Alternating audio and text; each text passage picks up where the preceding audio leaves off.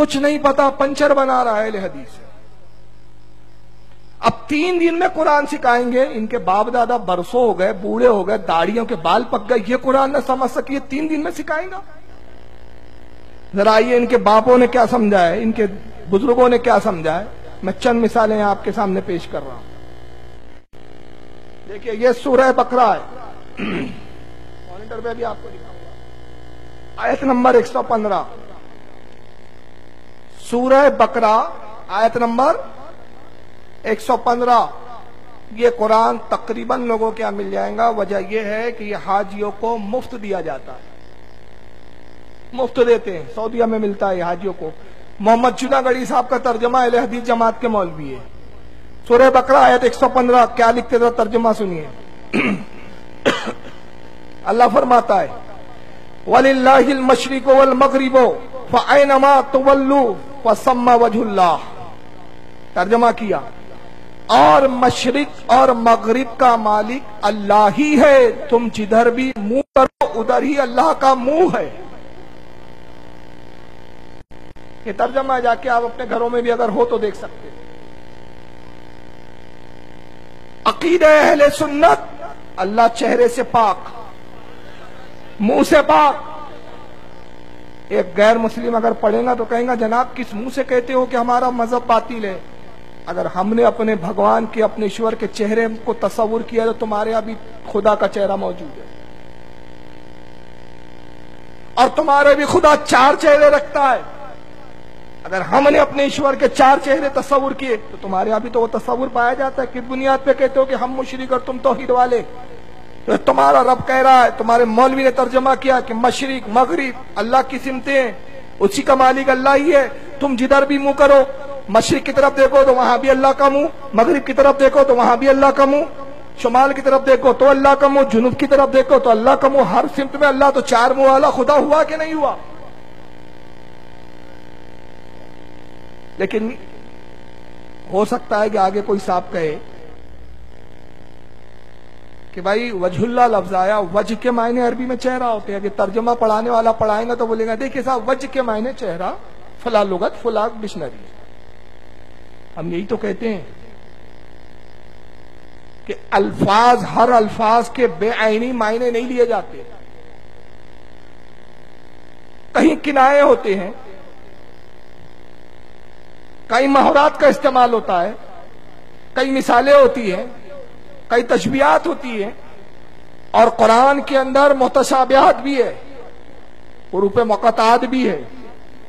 इनके उसूल जबते, जब तक ये पता ना हो, कुरान को नहीं समझ सकते। मैं तर्जुमे से समझने जाऊँगे तो अल्लाह का चेहरा भी तस्वुर कर लूँगे। और जब चेहरा मानूँगे तो फिर दिल में ख्याल आएगा, अल्लाह का जब चेहरा है तो नाक भी होनी चाहिए, कान भी तो होने चाहिए होड भी होने चाहिए, दांत भी होने चाहिए भवे भी होनी चाहिए आँखें भी होनी चाहिए पेशानी भी होना चाहिए। चेहरे का लफ्ज मुँह का लफ्ज लाया पूरा एक इंसानी पैकर में खुदा को तराश लिया गए थे खुदा की तोहिद पर ईमान लाने ला किसी और पर ईमान लिया। इसलिए कि ये तो बेस, बेसिक अकीदा है क्योंकि कुरान पारा पच्चीस सूरह शुरा आयत ग्यारह में फरमाता है लईसा का मिसली ही शयन वह समीउल बसीर। और किसी से उसकी मिसाल नहीं दी जा सकती। वो मिसालों से परे शक्लो शुबात से परे जिस्म जिस्मानियात से परे, वो आजा से परे, वो मादा होने से परे। और चेहरा मानोगे तो मादा भी मानना पड़ेगा। मटेरियल भी तस्लीम करना पड़ेगा। हम मटेरियल के मोहताज, मट्टी ना हो तो इंसान नहीं। आग ना हो तो इंसान का वजूद नहीं, पानी ना हो तो इंसान का वजूद नहीं। मगर खुदा मटेरियल नहीं है, मादा नहीं है। जब मादा नहीं है तो उसका चेहरा भी नहीं, उसका वज भी नहीं। इसलिए कि वज और चेहरे के लिए मटेरियल चाहिए और वो खुदा नहीं, जो मटेरियल का मोहताज हो। ये तोहिद नहीं समझ सके। इनके चमचे कुरान समझाने निकले। और आइए एक दूसरी आयत देखिए। ये भी जूनागढ़ी साहब का तर्जमा है। सूरह रूम, आयत नंबर अड़तीस। हाजियों को मुफ़्त दिया जा रहा है कुरान। और हमारे हाजी साहब फ्री में उठा के लाते हो वो यार, मिल गया, फ्री का मिल गया। तुझे नहीं मालूम तेरी औलादे पढ़ेंगी, कहाँ गुमराह होंगी? गुमराही के गढ़े में घुसा के मारेंगे ये चुनागढ़ी का तर्जमा जो हुजाज को दिया जा रहा है। सुरह रोम, आयत अड़तीस। क्या तर्जमा करते, जरा यहाँ भी देख लीजिए। फातीजल कुरबा हकहू वल मिस्कीना वबन सबील। जाल का खैरजीना यूरीदूना वजहल्ला तर्जमा सुनिए इनका। अल्लाह फरमाता है, पस कुराबतदार को, मिस्कीन को, मुसाफिर को, हर एक को उसका हक दीजिए। अल्लाह यहाँ कुछ सदका खैरात करने की बात कर रहा है। अल्लाह फरमाता है, जो तुम्हारे रिश्तेदार करीबी हो, गरीब हो, उनकी मदद करो। मिस्कीन को दो, मुसाफिर है जिसको ज़रूरत पड़ जाए, सफ़र की हालत में बेचारा लुटपुट गया, खाने पीने के वादे हो गए, उसका हक दो उसको। अब आगे तर्जमा सुनिए ये उनके लिए बेहतर है जो अल्लाह ताला का मुँह देखना चाहते हो। यहाँ भी मुँह। और आइए इसी का तर्जुमा दूसरे मौलवी साहब ने क्या किया? ये वहीदुजमा है। मौलवी वहीदुजमा साहब ने भी तर्जमा किया इसका। जरा आइए इन्होंने क्या तर्जमा किया? आयत करीमा वही है सुबह रोम आया अड़तीस। तर्जमा करते हैं ए पैगंबर नाते वालों को उसका हक दे और मोहताज को और मुसाफिर को उनका हक। जो लोग खुदा का मुँह देखने के ले, देख लेने और उसका दीदार आखरत में चाहते। ब्रैकेट में दीदार लगाया बात पहले क्या लिखा? खुदा का मुँह देखना चाहते। यहाँ भी खुदा का मुँह। सबसे पहली बात सुन लीजिए। दो बातें अर्ज़ करूँगा। पहली बात यह कि रब तबारक ताला शक्ल सूरत से पाक। आइए मैं नहीं कहता, अकायद की चंद किताबें देखेंगे। शरउल अकायद, इमाम सादुद्दीन तफ्ताजानी की। सवा नंबर इसका वन साठ। ये मदारिसों में पढ़ाई जाती है, देवबंदी भी पढ़ते हैं, वावड़े भी पढ़ते हैं। कोर्स में है ये।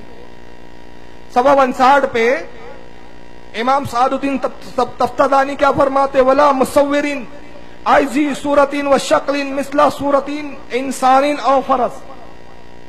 कहते हैं कि अल्लाह ताला मुसविर नहीं। यानी शक्ल सूरत वाला नहीं, वो शक्ल सूरत से पाक है।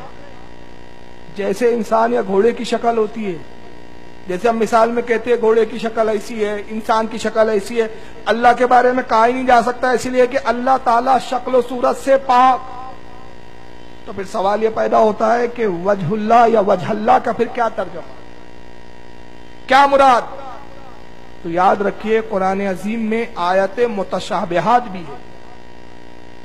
और इमाम जलालुद्दीन सूती रहमत ने किताब लिखी इस फन पे, और भी इमा ने लिखी। लेकिन अभी जलाउद्दीन सूती का हवाला कोट कर रहा हूँ। किताब का नाम है अल इतकान फियोलोमिल कुरान।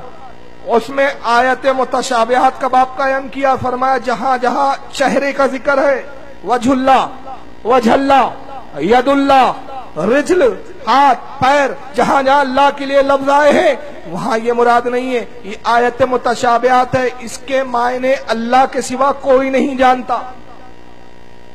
जब इसके मायने अल्लाह के सिवा कोई जानता ही नहीं तो आप कौन होते हैं जो वज का तर्जमा चेहरा करते हैं?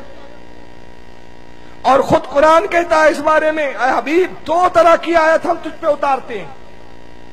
एक आयत मोहकमात है, जिसका मायने भी मालूम, जिसका तर्जमा भी समझ में आ रहा है, जिसकी मुराद भी समझ में आ रही है। और एक अभी दूसरी आयत वो है मुतशाब्याज जो अल्लाह के सिवा कोई नहीं जानता। और रब के बताने से हुजूर जानते हुजूर के बताने से चंद बुज़ुर्ग और साहबा जानते उम्मत पे नहीं ज़ाहिर किए गए। ये इल्म लदुन्नी का हिस्सा है, जिसको अल्लाह चाहता है, अता करता है। लेकिन उम्मत पे ज़ाहिर नहीं किए गए। और अल्लाह फरमाता है, हबीब, जिसके दिल में कजी है, वो मोहकम आयतों को छोड़कर मुतशाबियात के मायने बयान करता है। कजी ने जिनके दिल में टेढ़ापन है तो जिन्होंने वजुल्ला का तर्जमा अल्लाह का मुँह किया, समझ में आ गया इनके दिल टेढ़े थे, इसलिए मायने बयान कर रहे हैं। मगर कुर्बान जाइए आला हज़रत पर। हमारे इमाम ने देखा, इमाम अबुल हसन अशरी ने यहाँ क्या तावीले की, क्या तावीले पेश की? उन्होंने देखा, अगर तावील से यहाँ तर्जमा किया जाए तो लोगों का ईमान बचाया जा सकता है, और कुरान के मफहूम को उम्मत पे ज़ाहिर भी किया जा सकता है। इसलिए कि अगर ताबील नहीं करोगे तो नतीजा यह होगा कि लोग अल्लाह का चेहरा मानकर गुमराह हो जाएँगे। हो सकता है कि फिर आने वाली उम्मत अपने जहन और फ़िक्र से कुछ चेहरे तराश ले और कहे कि हो सकता है खुदा ऐसा ही चेहरा रखता होगा तस्वुर में कुछ शक्लें आने लगे। हर आदमी के जहन और फ़िक्र में शक्लें होती है। मैं हज़रत उमर की बात करूँ तो हर आदमी अपने जहन से सोचता है, हज़रत उमर ऐसे रहे होंगे, नाक ऐसी होंगी, कान ऐसी होंगी, लेकिन ये इंसान इनका तस्वुर अगर गलत भी हो इन शक्ल कुछ और हज़रत उमर की। आप किसी और शक्ल के तस्वुर में रहते हो, कोई फ़र्क नहीं पड़ता। लेकिन जब खुदा चेहरे से पाक है, और यही आपको रोक दिया गया कि चेहरे का तस्वुर ना करना, लेकिन ऐसे तर्जुमे पढ़ने के बाद आप देखोगे कि अल्लाह का चेहरा भी है, अल्लाह की शक्ल भी है, अल्लाह का मुँह भी है तो आप तस्वुर करेंगे, मुँह ऐसा होगा, वैसा होगा। नतीजा क्या होगा? एक अजीब किस्म की शक्ल को आप जहनों में तराश लोगे जो आपको गुमराहियत की तरफ़ ले जाएँगे। आला हज़रत ने वहाँ ताबील से काम दिया। अपने इम्मा की तफासिर को देखा। उन्होंने डिक्शनरियों वाला तर्जमा नहीं किया, तीन दिन वाला। तो पहली आयत का क्या बेहतरीन तर्जमा किया? का मशरिक और मगरिब का मालिक अल्लाह है। तुम जिस तरफ़ रुक करो, अल्लाह की रहमत तुम्हारी जानी मुतवजे है। उसका मुँह नहीं है, उसकी रहमत है, जो तुम्हारी तरफ़ मुतवजे है। दूसरे आयत का क्या तर्जमा किया? सूर्य रोम आयत अड़तीस का। कुराबतदारों का हक दो, मिस्कीन का हक उसको दो, मुसाफिर को उसका हक दो। ये उनके लिए बेहतर है जो अल्लाह की रिजा चाहते हैं। चेहरा नहीं चाहते, रिजा चाहते अंदाज़ा लगाइए कि अगर हम इन जाहिलों से कुरान पढ़ेंगे तो क्या होगा हाल? नस्लें गुमराह हो जाएगी। इसलिए कुरान तर्जुमों से नहीं समझा जा सकता। इसी शरा कायद के अंदर इमाम सादुद्दीन तफ्तादानी सफ़ा नंबर अट्ठावन पे फरमाते हैं, वला जिसमल अन्नहु मुतरकबुन व मुताहिजुन वजाल का अमारत हदूस। फरमाते हैं कि अल्लाह ताला जिस्म नहीं है, उसका कोई जिस्म नहीं, आकार नहीं, इसलिए कि जिस्म मुरक्कब होता है। चंद चीज़ों का मजमुआ होता है। भाई, हमारा जिस्म कितनी चीज़ों से बना है?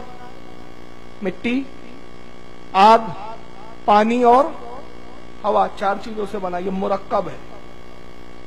तो जिस्म मुरक्कब होता है मुतहज होता है और ये हदूस की अलामत है। हदूस यानी हमारा जिस्म पहले नहीं था। मटेरियल आया तो जिस्म बना। मिट्टी थी तो हम बने, मिट्टी ना होती तो हमारा वजूद मिट्टी से नहीं होता। तो हमसे पहले मिट्टी है, हमसे पहले पानी है, हमसे पहले आग है, हमसे पहले हवा है। चारों को मिलाया रब ने इंसान की तकलीफ़ की और पांचवी चीज़ रूह डाल दी तो इंसान वजूद में आ गया। तो ये जो होता है, वो कह रहे हैं कि हदूस की अलामत है। अगर अल्लाह का जिस्म मान लिया जाए तो उसको मादा मानना पड़ेगा। और मादा मानेंगे तो मादा पहले होगा, खुदा बाद में होगा, और खुदा से पहले कोई हो, ये हो ही नहीं सकता। आखिर समझ में आ रही है कि नहीं भाई? बहुत आसान करके समझा रहा हूँ, इल्म कलाम की वैसे हालाँकि ये लेकिन बहुत ही इजी सुन समझाने की कोशिश कर रहा हूँ। और रब तबारक ताला की जात गैर हादिस हाँ हम सब हादिस है। हम सब हदूस के दायरे में आते हैं। हादिस मतलब हमारा वजूद पहले नहीं था। हम थे हमेशा से नहीं। रब की एक कुदरत बगैर किसी मादे के, बगैर किसी सबका मटेरियल के, बगैर किसी मिसाल के, बगैर किसी तमसील के उसने इंसान को वजूद बख्शा। हम थे नहीं, वजूद में आए। हमेशा रहेंगे नहीं, फना हो जाएँगे। मगर रब की दाद हमेशा से थी। हमेशा है। हमेशा रही। उसकी दाद गैर हादिस। तो जब हादिस, गैर हादिस, हदूस, गैर हदूस, जब यही ना समझ में आए और तीन दिन में कुरान समझाने बैठेंगे तर्जुमे से तो क्या हाल होगा